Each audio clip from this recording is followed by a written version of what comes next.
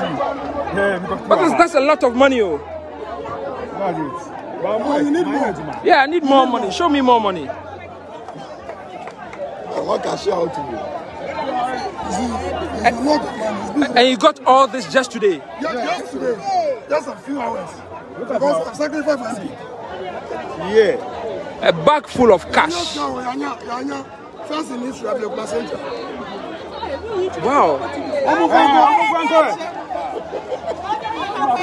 Franco. The, money is so fat, it wouldn't even go inside his pocket. This must be Christmas for residents in Ablekuma.